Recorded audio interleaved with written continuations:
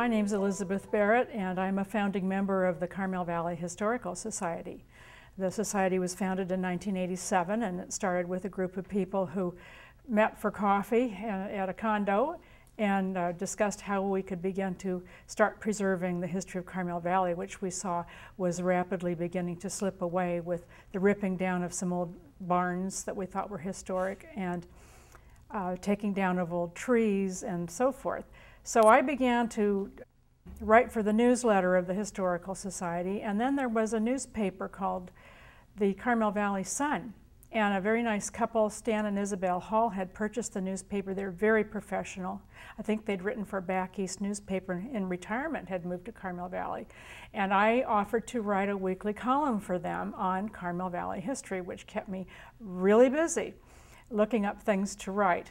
And I saved my files, thank goodness, because about two years ago I was approached by the Arcadia Publishing Company who publishes regional histories. There are about 5,000 titles all ac across the United States that this company has had authors write books on. They're all about towns, communities, and so forth.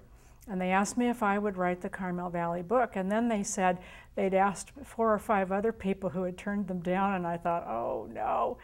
But um, I said okay because I wanted this book to be a fundraiser for the Historical Society because we're building a history center in Carmel Valley Village at the park. So as I said previously, thank God I saved all my files, which were a lot that I uh, used to write for the Carmel Valley Sun.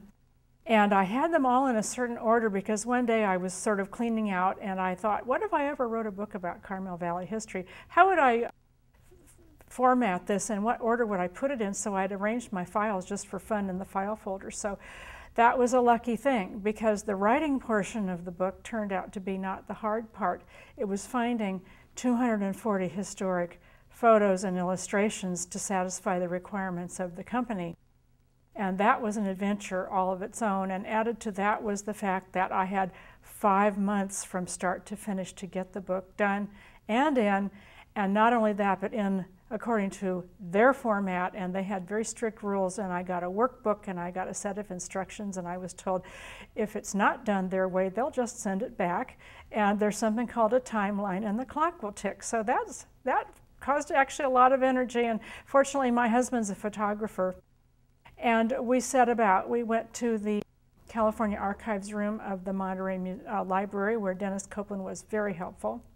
We plowed through boxes of donated photos that the Carmel Valley Historical Society very fortunately had in its archives. We went to the Harrison Memorial Library in Carmel.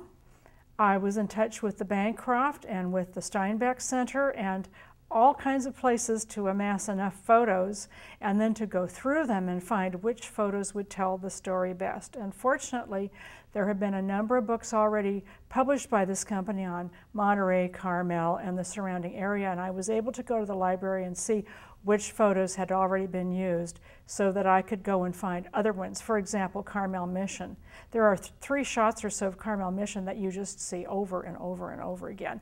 And fortunately, at the California Archives room in the Monterey Library, they have probably a hundred different photos that have been taken over time in various states of repair or dilapidation of the mission, drawings and so forth, and we were able to come up with some unusual photos and views, and that, that just helped tremendously. I wanted to make a book with a little bit of a twist that would offer information that no one had yet read, because the book does begin with the early inhabitants of Carmel Valley, the Rumsen and the Esselen, and it goes on through the founding of the mission period, the Spanish and then Mexican land grants, and then the Rancho period of the early American settlers following statehood.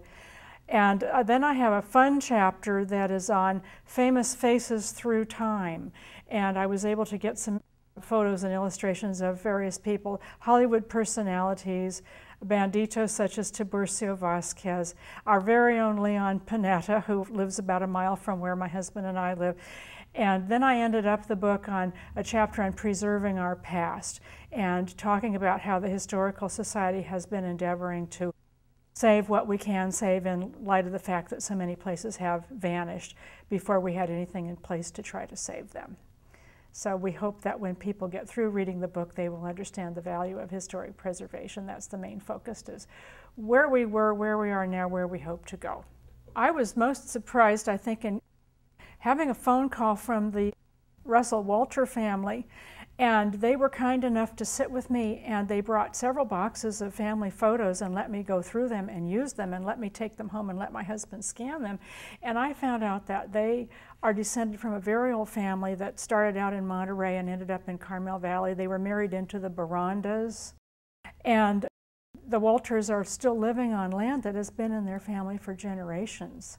And they were so sharing with me about this. We often think of Carmel Valley as a, as a lot of newcomers because for so long, especially during the 19th and into the early 20th century, there were only six families, six ranch families that lived out there. So neighbors were few and far between, and here the Walters were just full of stories and, and were willing to share that with me, so that was a lot of fun. When we think of Del Monte, we think of the Del Monte Hotel, and the name Del Monte later was translated over to the site where Los Laureles Lodge is now. Los Laureles came from the Los Laureles land grant, which was about the third largest land grant in Carmel Valley. It stretched from approximately today's Garland Ranch out to beyond Carmel Valley Village, and from the top of Laureles Grade clear across to Snively's Ridge. It was 6,600 acre ranch that was given over to cattle raising until the American period when hog farming and grain growing and fencing were brought in. The most famous face to own this before the Del Monte corporation bought it was Nathan Spaulding, who was the 15th mayor of Oakland, who, for reasons I don't know, came down and bought Rancho Los Laureles just a few years after the original Borondas sold it. And he brought modern fencing and modern ranching and modern irrigation to Carmel Valley. Two or three years after he sold out, in the early 1880s, the Pacific Improvement Company purchased the property, and this spun off into the Del Monte properties. So you have this dairy, which is still there. The milk house that you will see in the village was the part of that dairy ranching industry. The Del Monte Dairy out there produced the butter and milk and cheese, not only commercially, but for the guests at the Del Monte Hotel in Monterey. And, the, and then where Los Laureles Lodge is right now, which it was once the managers, the ranch manager's home and the employees' housing, this became the, the nucleus of a resort, a rustic resort. And guests at the Del Monte Hotel in Monterey would come over by wagon, come over Laureles Grade, and spend perhaps weeks hunting and fishing and rusticating, as they called it in those days. The ladies might just come over for lunch in a surrey one day. So this spun off into one of the very well-known resorts, which is still going. It's, it's it had several generations of owners and several metamorphoses in the meantime, but it's still a fun place to go because you get a little feel for what it looked like back then.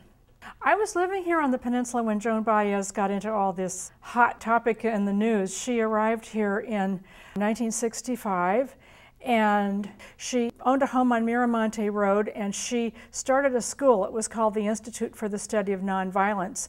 It was located in a building that had housed the So Help Me Hannah Poison Oak Remedy Factory, and before that it had been the, it had been the second Tularsita School, and that building is still there. It's on the property of Stone Pine Resort now, and as you drive into Stone Pine, you will see the little building.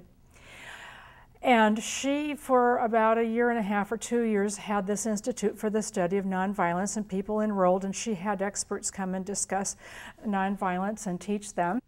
And the neighbors were unhappy uh, about this because they thought that her students were beatniks that would go around barefoot and bearded and uh, unshaven and not washed, and it would bring a bad influence to Carmel Valley and they didn't want it. And if you read Joan Didion's book called Slouching Toward Bethlehem, there's a chapter in there called Where the Kissing Stops. And it tells this whole episode of Joan Baez coming and the neighbors going to the Board of Supervisors and asking that she not be given the permit for to use the school. And one of the people who protested, who's in the book, was Dr. Gerald Petkus, who happened to be our family's veterinarian at the time, so I've got his picture in my book as well. Um, Joan and her husband later did move, um, close the institute and they moved up to Palo Alto, but during the time she was here, there was hardly a day go by that the newspapers didn't have a story about what was going on. It was such an unusual thing for its day.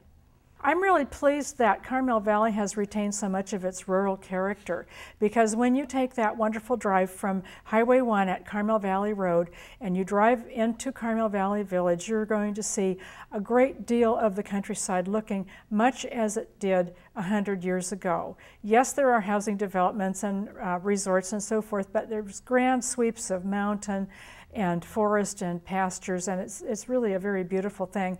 And of course, the village itself has now become a kind of trendy place because they have boutique wineries and tasting rooms and little shops. So it makes for a nice day out to go for lunch and taste the wine and experience the atmosphere. And if you keep on going past the village, there's also a beautiful drive on Carmel Valley Road that goes all the way to Highway 101, and that's very, very rustic, full of ranches and beautiful sweeps of scenery. So if anyone, I would recommend to anyone, if they have a day at their disposal, just get in your car at uh, Highway 1 and Carmel Valley Road, take a nice slow drive, stop in the village for lunch, and if you like, keep on going.